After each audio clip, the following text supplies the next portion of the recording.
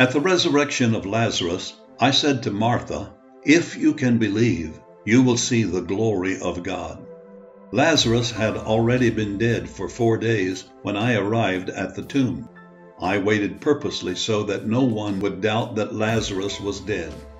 After I prayed to the Father, I cried with a loud voice, Lazarus, come forth!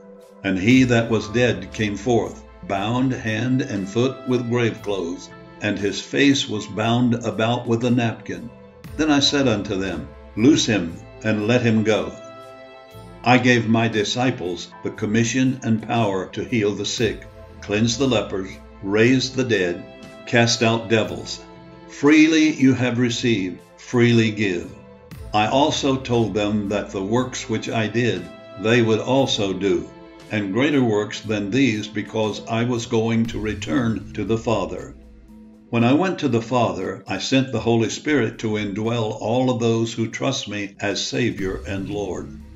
The same Holy Spirit that enabled me to do the works that I did while here on earth will also fill and empower you to do the works needed in your life and in the lives of those to whom you will minister.